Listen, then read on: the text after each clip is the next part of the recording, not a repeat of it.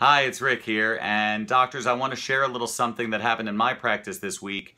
Uh, one of my main CAs, who's been with me for 14 years and is simply terrific, just came in in a cranky mood. And as you and I both know, the energy that everyone brings to the office is the energy that the practice is going to have. Volume tends to go down in those days. But as opposed to just rolling my eyes and saying, oh, here we go, it's one of those days, I took the moment to just bring her into a room one-on-one and say, hey, what's going on? What can I do to make your day better? And the truth is she just needed to feel heard that day. She had some opinions on some of the systems that were not working well in the office and she was getting frustrated. And it really brings a good point up. A lot of the CAs in your practice are resources that you have not been using properly. They see things that you don't see. They hear things from patients that you don't hear.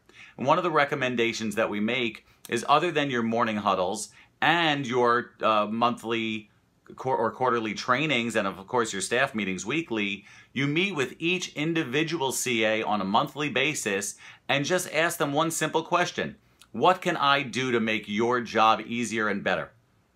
And you'll be amazed, first of all, that you, they don't even think you care. And I'm sure you do, but they don't know that. They need to know that. And number two, some of their ideas are fantastic. Some of their ways to simplify and make more efficiency for the patient flow. And sometimes there are specific patients that may not be having a great experience that you could fix before it becomes a problem.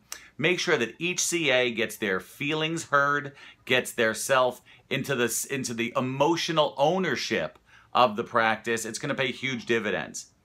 We are in May going to Little Rock, Arkansas, as you know, as part of ChiroDestiny. We're going to be going to Dr. Hurley's office, which is a magnificent edifice of chiropractic, but we're going to be doing some of these role play, hands-on types of meetings and types of scriptings and types of office flows actually on the floor of a real chiropractic office as opposed to sitting in a regular hotel doing a typical seminar. So if you've ever wanted to really see how a magnificent office works as opposed to just hearing about it, this is your opportunity. Go to chirodestiny.com and check it out. Look forward to seeing you there.